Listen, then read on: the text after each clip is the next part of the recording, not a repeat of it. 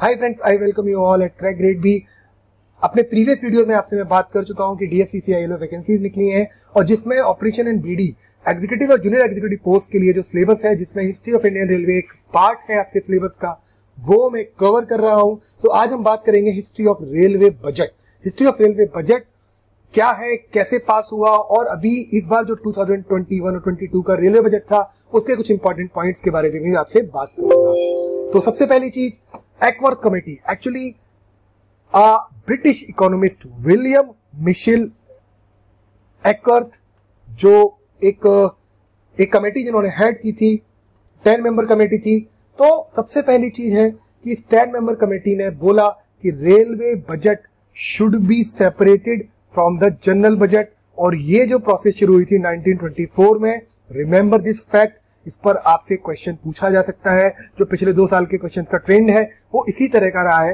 तो 1924 में सबसे पहले रेलवे बजट को अलग किया गया था जनरल बजट से। ठीक है? ऐसा किया क्यों गया? During the time the railway budget was contributing 84 percent of the general budget as a railway revenue so railway का जो रेवेन्यू था वो मेजर कंट्रीब्यूटर था नेशंस की जीडीपी में। अब ये जो 1924 में प्रोसेस शुरू हुई थी कि जनरल बजट से रेलवे का बजट अलग पास किया जाएगा, ये 2061 तक इंडिया में कंटिन्यू रही, यानी कि pre independence and post independence ये प्रोसेस चालू थी कि रेलवे बजट को हमेशा जनरल बजट से कुछ दिन पहले पेश किया जाता जाता था लोकसभा में। अब 2016 के बाद मोदी गवर्नमेंट ने जो डिसीज़न लिया उसके बाद अब रेलवे बजट को जनरल बजट के साथ पेश किया जाता है। सो so, कौन था वो फ़र्स्ट पर्सन एक्वर्थ कमेटी थी और एक्वर्थ कमेटी जो एक ब्रिटिश इकोनॉमिस्ट थे। इन्होंने इस प्रोसेस को शुरू किया था 1924 में। Now merger of railway budget with general budget जो 2017 में हुआ। ऐसा हुआ क्यों? मोदी गवर्नमेंट ने ये डिसीज़न लिया 21 सितंबर 2016 को कि जो प्रोसेस 1924 से चल रही थी, अब 2016 के बाद रेलवे बजट जो है वो जनरल बजट के साथ ही पेश किया जाएगा। इसमें कुछ फैक्ट्स हैं, वो आप ध्यान रखना बस। जो हमारे लेट फाइनेंस मिनिस्टर हैं, अरुण जेटली, ये first one to present a combined union budget means general budget plus railway budget the then finance minister late Shri Arun Jaitley ji ने इसको सबसे पहले कंबाइंड रूप में पेश किया था इंडिया में। अच्छा दूसरा, ये जो ब्रिटिश एरा की प्रैक्टिस थी, इसके लिए कोई ना कोई कमेटी गवर्नमेंट ने ज़रूर बिठाई होगी। तो कि जो ये बता सके कि आप रेलवे बजट को अगर जनरल बजट के साथ जोड़ देते हैं तो उससे क्या फ़र्क पड़ेगा और क्या बेनिफिट होंगे? तो ये जो कमेटी थी, वो थी नीति आयोग की की कमेटी और इसको हेड किया था a great economist of India Vivek Debroy ji के द्वारा। एक फैक्ट और है इसमें, प्रभु जो हमारे रेलवे मिनिस्टर थे, वो इंडिया आफ्टर इंडिपेंडेंट इंडिया के लास्ट रेलवे मिनिस्टर थे, जिन्होंने रेलवे बजट को सेपरेटली इंडिया में पास किया। This is also the fact Suresh Prabhu ji ने इंडियन रेलवे जो रेलवे बजट है, वो लास्ट टाइम 2016 में पास किया था आफ्टर इंडिपेंडेंस तो एक फैक्ट है तो ये कुछ फैक्ट है जब रेलवे बजट को मर्ज किया गया था इसके साथ। अब कुछ फैक्ट्स हैं रेलवे बजट के इंडिया में। देखिए, आपकी जो क्वेश्चंस आते हैं एग्ज़ाम में, वो जनरली फैक्चुअल बेस आते हैं, आपको थ्योरी पढ़ने का कोई फ़ायदा नहीं है। तो जनरली मैं अपने जो सिलेबस है, आपका जो सिलेबस है, उसमें कवर कर रहा हूँ चीज़ों को अकॉर्डिंग टू द सिलेबस और पॉइंट वाइज और फैक्ट वाइज तो इसमें आप देखेंगे कि फ़र्स्ट रेलवे बजट जो है, वो किसने प्रेजेंट किया था? It is presented by John Mathai and after मैं इंडिपेंडेंट इंडिया इंडिया की बात कर रहा हूँ in November 1947 first live telecast कब हुआ था?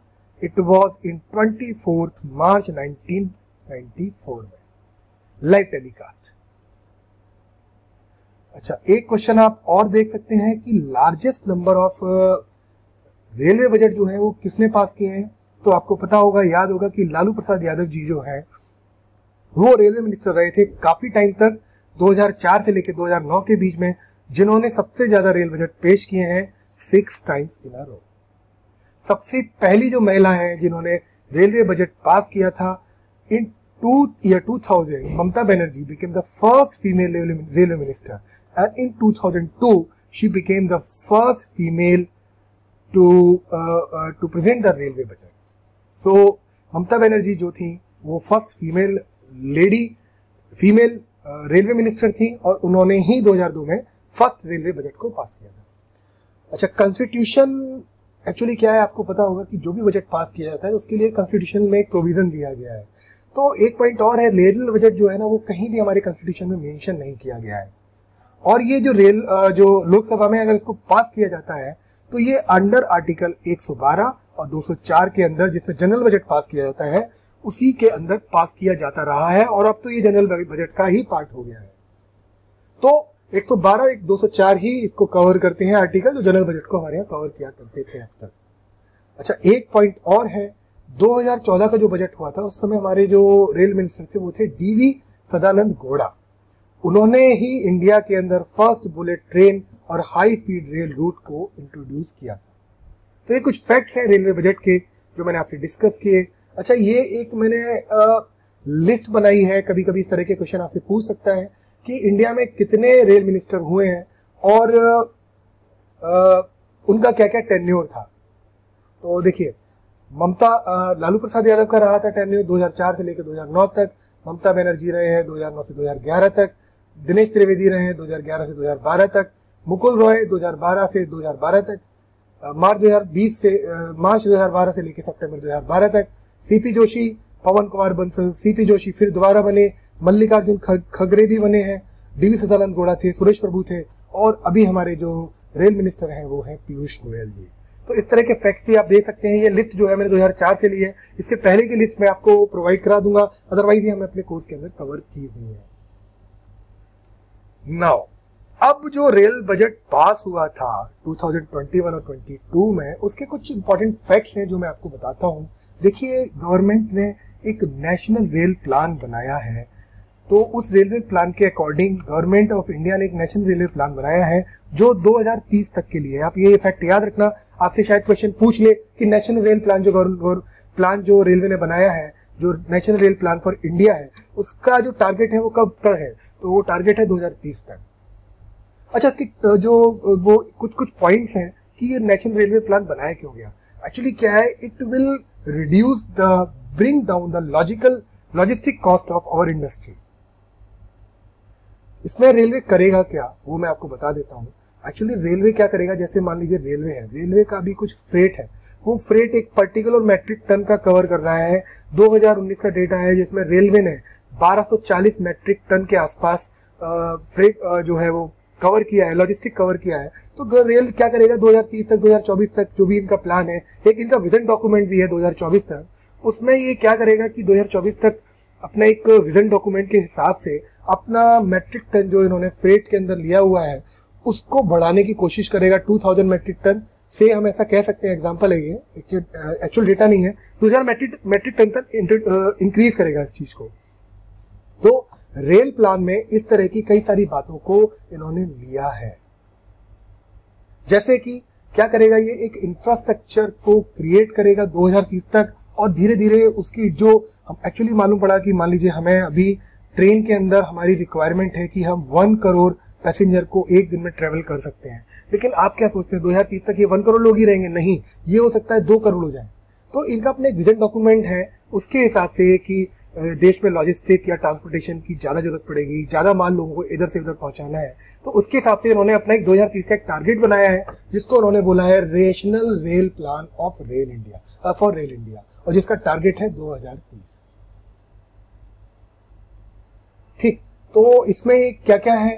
एक्चुअली क्या करेगा कि जो सबसे पहला काम है नेशनल रेलवे एक्शन प्लान का, कि डिमांड को आइडेंटिफाई करेगा।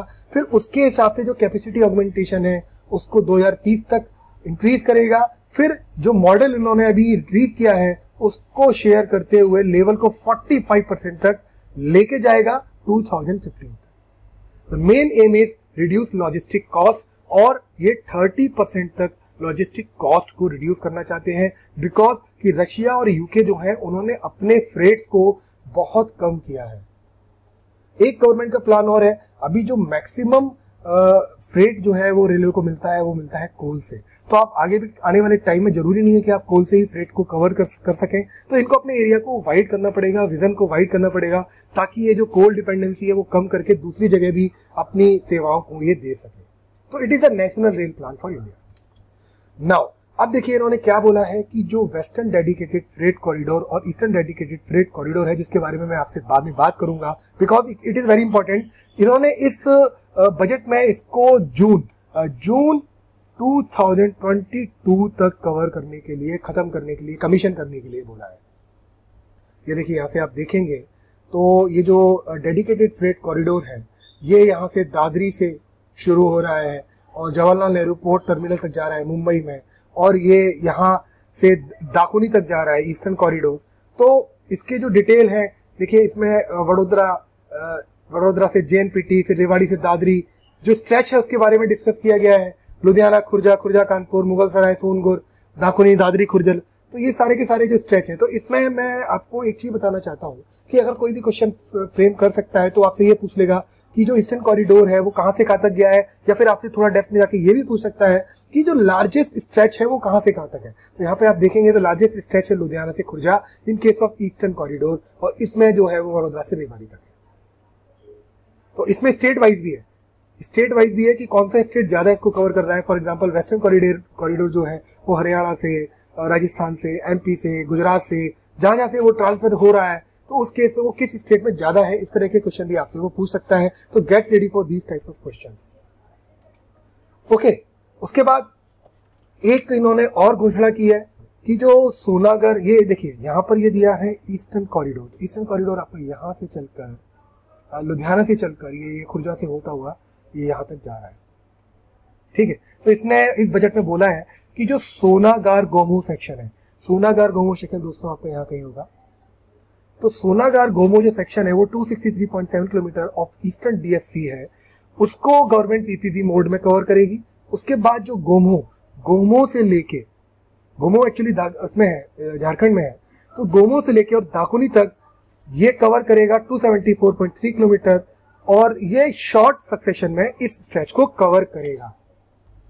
तो ये देखिए, इन्होंने जो इस बजट में घोषणा की है, ये है। हाँ आपको मैं बताऊँगा कि देखिए, सबसे पहले क्या है डेडिकेटेड फ्रेट कॉरिडोर ईस्टर्न और वेस्टर्न इसके बारे में जो डिटेल में आपको पढ़ना ही पढ़ना है, वो मैं आपको अवेलेबल कराऊँगा थ्रू वीडियो और हमारे कोर्स के मटेरियल में भी ये दिया हुआ है।